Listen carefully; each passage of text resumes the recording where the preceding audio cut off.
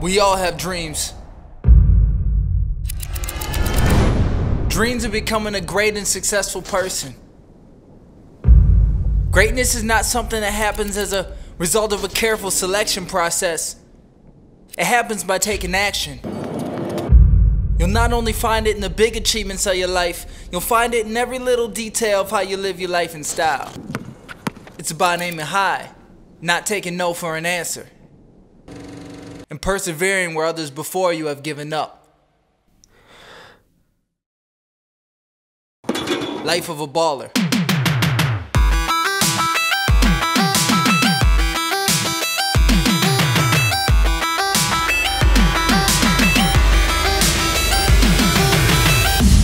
Welcome to Miami.